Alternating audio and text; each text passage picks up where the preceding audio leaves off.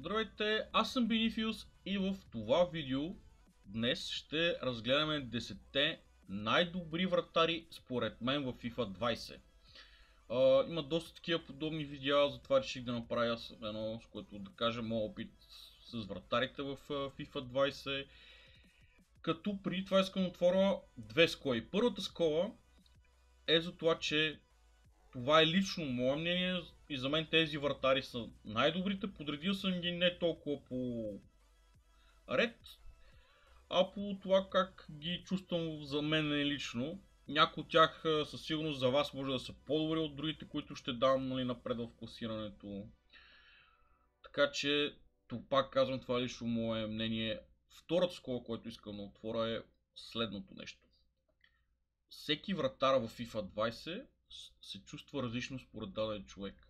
За мен лично вратара трябва да ми дава сигурността, че когато направя аз грешка и не успея да, да спра нападателя, когато се издъна в халфовата линия, не мога да са топката и получи контратака, вратара ми ще направи каквото е нужно, за да попречи на гол. Естествено това не винаги става, но и аз лично играя на за мен лично не е добра връзка, имам проблеми с интернета, игра на 40 мегабита нет. So, не е много приятно, не е комфортно, все пак съм си гол траш играч, не мога да се оправдавам само с връзката, правя и доста налепи грешки. Точно това ми пречи да стигна поне Елит 3, да държа някакво пришло ниво към Елит 3. Затова ми трябваше сигурен вратар.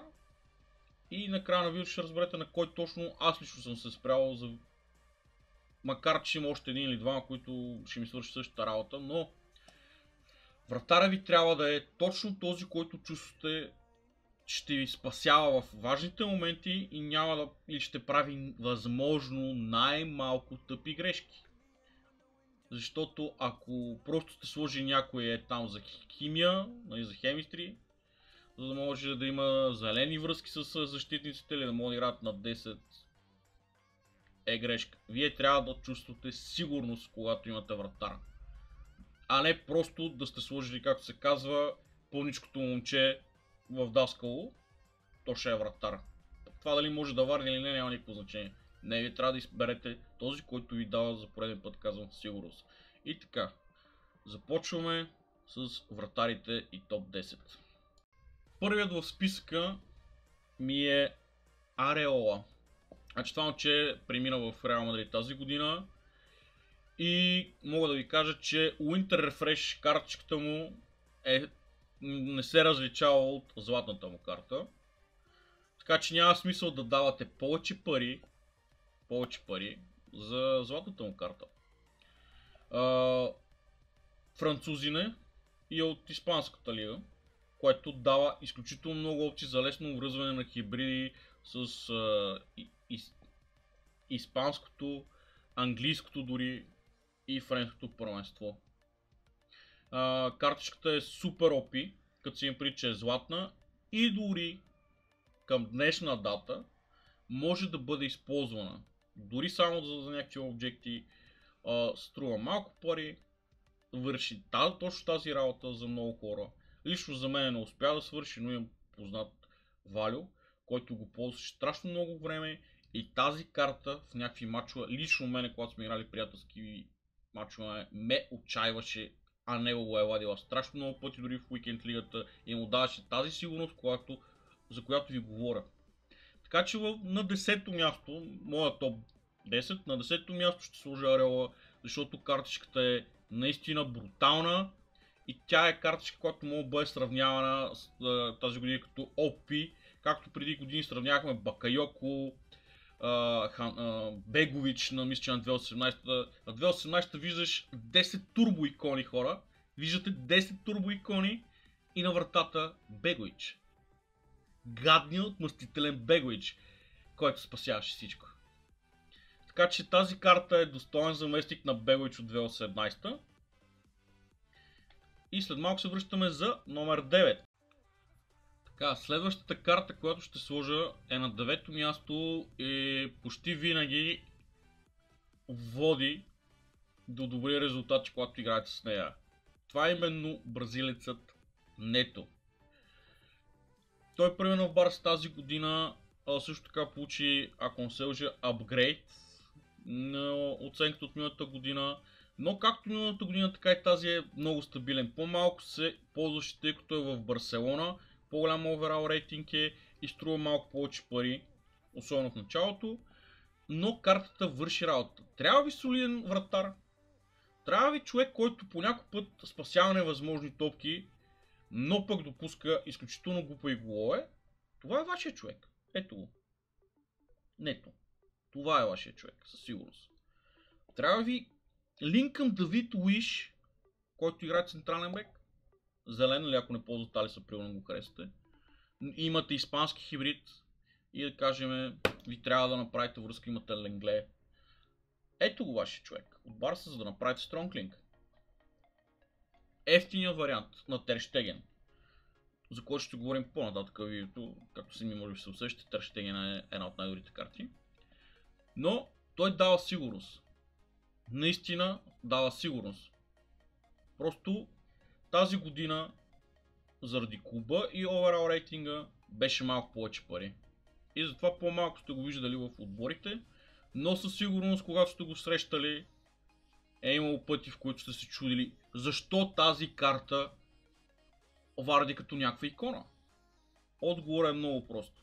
Картата си е щупена от миналата година още. И продължава да е щупена и да върши помощ. Когато и трябва някакъв обектив и нямате някаква карта от испанското, но го имате него, може съвсем спокойно да си заложите и да не съжалявате. Сега ще преминем към номер 8. Няма как да подминем на 8 място именно облак по принцип не съм и от най-голямите фенове, но може би в момента той и Терштеген държат най-голямото, най-високо ниво на този пост. Така че за мен лично Облак заслужава да е поне в топ 10. В играта е доста спорно дали обикновената му картичка или тази, която е Team of the Season е изключително по-добра. В определени отбори карта се справя феноменално, но лично при мен, тъй като го пробвах в началото, когато си търсих стабилен вратар, просто ме подвеждаше. Ударите отдалече нямаше никакъв проблем, смисъл от дъгата на наказателното, преди наказателното поле. А, от корнери много стабилен, от центриране много стабилен, но ударите в близко бяха някакъв ужас. Поне лично за мен но все пак това е една от най-хубавите карти тази година и според мен заслужава е в топ 10. Може да споделите вашето мнение за всяка един от класацията и да поделите по ваш избор, да премахте, да сложите. Ще се радвам ако го направите това в коментарите на видеото под YouTube. Ако също се абонирате за мен, да дадете едно палче нагоре и ми помогнете малко. Нека да, да направим една дискусия да видим кои вратари за вас са топ 10, кой е, например, най-добрия според вас някой от моите 10, дали изобщо трябва да е тук и защо според вас не трябва да е, ще се радвам. Та да се върнем малко за облак. Облак е висок, силен, а, няма проблеми толкова с центрирането, повечето пъти успява да хване топката. Но аз лично не се чувствах сигурен. Затова е толкова назад в класацията. Даде се чуди защо изобщо намери място в класацията ми за разлика от един друг вратар, който ще го спомена само накрая и ще кажа защо не съм го включил. И сега продължаваме към номер... Няма как да не включим един от най-великите емблематични вратари, а това е Лев Яшин. Човека е иноватор и в FIFA е направен наистина изключително стабилен. Предни години не можеше да играем толкова с него, защото все пак не е от най Тогава се гледаха доста... Не е от най-високите вратари, тогава се гледаха доста високи вратари заради финес ударите и той не успяваше да се справи на необходимата висота.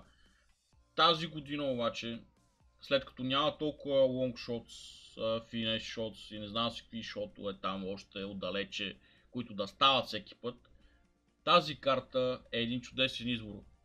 Аз бих заложил на Prime или на Prime Moments, но познавам приятел Криси Писи, който му се падна, ако не се лъжа, бейби версията му.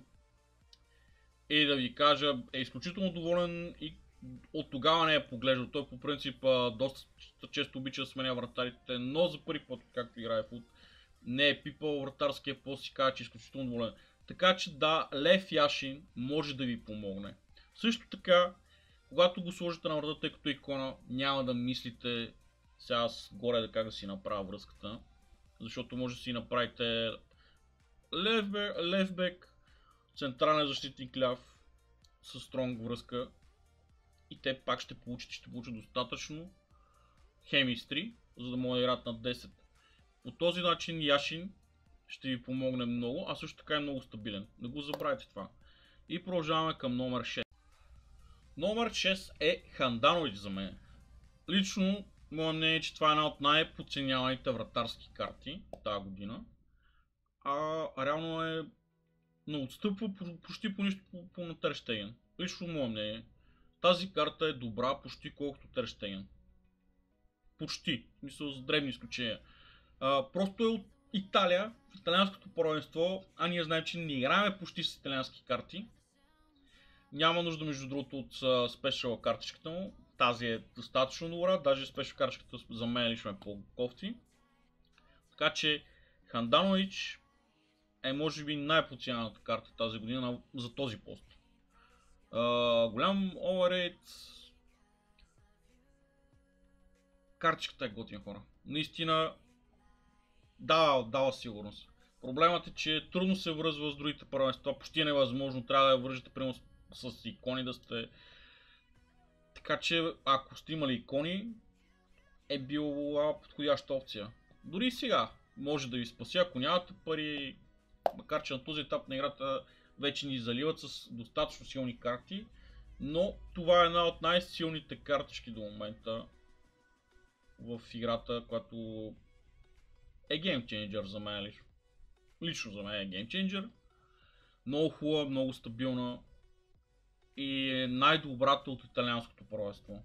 Това е моето мнение. Нито Донарума, който нико, почти никога не ме е отчаял на тази FIFA. Миналата година може би на няколко пъти, но тази FIFA, когато видях Анданович, се чувствам наистина притеснен. Защото знам, че много пъти, много пъти ще бъда притесняван пред гола. Защото има много добър, много добро позициониране, по-точно е много добър, много добро позициониране. Така че ако сте били с италианско сте го ползвали, знаете за какво говоря. Добре, продължаваме нататък. Така, отиваме към следващият. Храдецки. Тимо да Season Храдецки е една от най-хубавите карти тази година също на вратарския пост, който дава сигурност. А, точно това липсваше в Германия. Друг силен вратар, като тук ще отворя сколата, защо сложих него на място на Ноер флашбек. Флашбека на Ноер е една от най-хубавите също карти, но за немското първенство, тъй като рядко играме с немско първенство, главно феновете на Бундеслигата или по-точно хората, които живеят в Германия и гледат немското. Особено в България не е толкова разпространено, така че Храдецки е достоен заместник на Нор, дори да кажа, че е една идея по-добре. Изключително много спасява и дава сигурност. А Нор не е включен в списък, още сега ще го кажа, поради точно тази причина, но се колебах дали да сложа него или Храдецки. Ако имате Нор или сте се колебали да го направите и не сте го направили, този човек е вашия достоен заместник за немско първенство и вратар в немското първенство. Продължаваме нататък към следващия вратар. Следващият вратар не кой да е, а отново икона и това е Шмайхел. За мен лично Шмайхел не отстъпва почти нищо от Вандерсар. Просто имам друг, на мен ми е любимец Вандерсар и Терштеген, затова той отива на четвърто място. Много добра карта, много голяма сигурност, препоръчвам ви Прайма или Праймовец. По-малките му версии не са толкова добри, но Prime и особено Prime Moments са някакви зверове, които ще ви дадат необходимата стабилност в, в, на вратарския пост. Също така ще може да връзвате отбора си много по-лесно, защитници си главно. Много по-лесно. Така, преминаваме към номер 3. На номер 3, но не и по важност. В смисъл не съм голям фен на Алисън, никога не съм бил, но картата, особено Team of the Season версията, защото Team of the Year версията е ужасна. Uh, по принцип говорят за най-бързия вратар в играта. Така че когато се получи една дупка в защита и някой пусне един дълъг пас по крило по това и изкарате вратара, по някой път усещате, че колкото и да е, не е достатъчно бърз. Обаче този човек е като светкавица. Мисъл, излиза безкруполен и размазва. Почти никога няма, не съм забелязал някой, който излезе с него да загуби единоборството. Дори когато има сблъсък, нали, вие достигнете топката, успеете. Почти никога не е губил единоборство. Никога не е прави следното. Засилва се, засилва се нашето момче за топката и примерно да се размине с нея или просто да се спре пред нея тръгне да се дърпа. Това никога не става. Той гони до край. Вижда, заключва топката в полезрението си и не го интересува нищо друго. Също така има наистина много хубав позишенинг. Много хубав позишенинг. Просто е уникален позишенинг, но лично аз не го чувствам толкова сигурен. И в някои моменти ниски топки в близкия ъгъл изключително много ги изпуска. Поне това съм забелязал аз. А, за други хора е страшна карта. Също аз бих разчитал на нея, но имам моят си фаворит, който ми дава необходимата сигурност на вратата. Затова той е на трето място. Но повярвайте ми, тази карта е една от най-високо ретнати, да не кажа най-високо ретнатата и дава необходимата сигурност. Така че, ако се чудите дали да ползвате бразилския тигър, ползвайте го. Тая ви връзка много хубава с Милитао, с Диего Карлош също. По този начин много по-лесно мога да вържете испанското с него. Така че избора си е ваш. На трето място Алисън. На второ място в списъка ми е Терштеген. Съвсем спокойно може и да е на първо място. Съвсем спокойно, но това е лично моя класация, но е моето мнение. А, няма нужда да си купувате каквато и да е друга версия на Терштеген, повярвайте ми давате просто грешни пари. Жълтата карта и Тимо да Season карта са на едно ниво. На едно ниво с хора. Нито там Group Stage, там какво беше, имаше, ако не се лъжа, Moments карта му бяха набрали Making Form. Понеже заради COVID-19 и така, така, така, нали, паренстата не се играха и е, релизнаха Team of the Week Moments карти, които са от предни FIFA в дадената седмица, когато някой е имал информ. Така че той получи така спешно карчка. Няма нужда да, да давате повече пари. Жълтата, искате терминатор, ето Will. Единственият проблем за мен е с тази карта, че когато играех, абе, ребаундите оставаха почти винаги. Почти винаги оставаха в противника ми. Спасява и избива, но топката отива задължително при противника много пъти.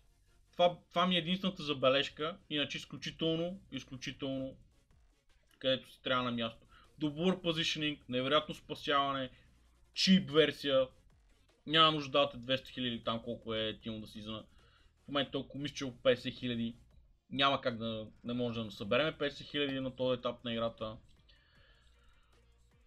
Германец е, и победи Нора в моята класация. Също. Храдецки и той изяваха мястото на Нора, който за пореден път ще кажа, дори тук. Не отстъпва толкова много.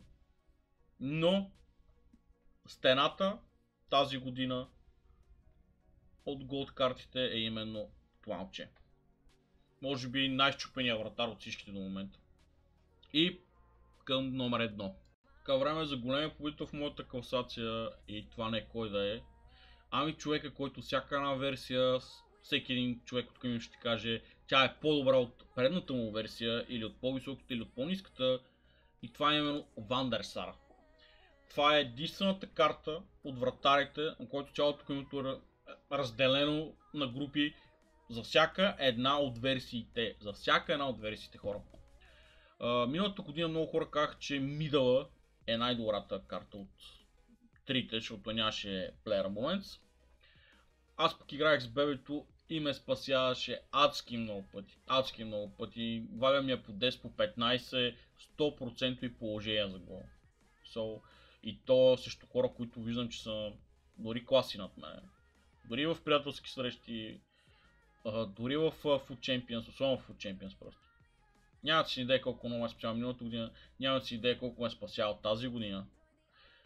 А, така че за мен това е голям победител.